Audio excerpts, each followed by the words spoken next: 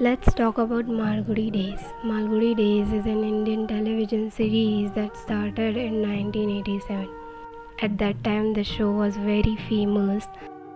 People were amazed by the stories and especially the village that had created by the writer R.K. Narayan.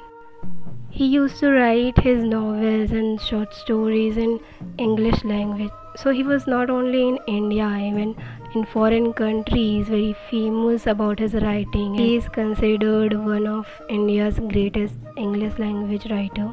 People were also amazed by the sketches that had used to shown at the beginning of the episode. Those sketches were created by R.K. Laxman, who was the younger brother of R.K. Narayan. He was acclaimed cartoonist and sketch artist. Another amazing factor of the show was the music of this show, which was created by a Carnatic musician L. Vaidyanathan. Lakshmi Narayan Vaidyanathan was an acclaimed musicologist, music director, and composer trained in a classical Carnatic music tradition. Now, moving to the director, the show was directed by Kannada actor and director Shankar Nag.